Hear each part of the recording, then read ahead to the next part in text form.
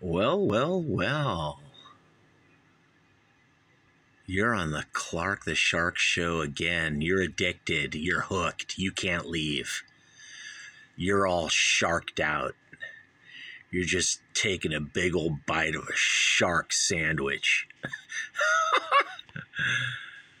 and uh, today, right here from the golden EIB Sharkraphone, here at 1 800 449 8255, the fabulous Clark the Shark Show, the Wolfman Jack on crack, the most amazing, in demand Sharky uh, in the universe, Andromeda, the Milky Way, and billions of other galaxies. And I'm like, man, that's clever, God. Billions of galaxies. I'm that makes us feel small. I mean, I want to feel small too, you know, because when I'm talking about Phil Collins, um, I actually feel tall.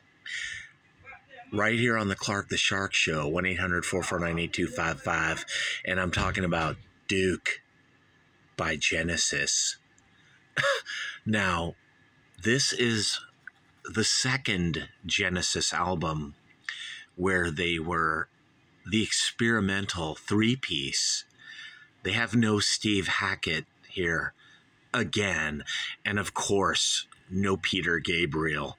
This is long, long after he left the scene.